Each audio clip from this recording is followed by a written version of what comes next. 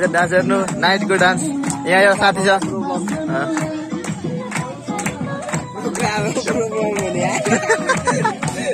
काटिदिन्छु त्यो voice. Dance हेर्नु guys यो चियरको लागि प्रि प्रिपेरेसन गर्दैछौँ हामीहरू नाइटमा। अन्त प्र्याक्टिसिङ गर्दैछौँ यहाँ। तिन दिन दुई दिन छ अब प्र्याक्टिस गर्ने टाइम अनि त्यहाँदेखि तिहारमा हिँड्ने हामीहरू। कसरी?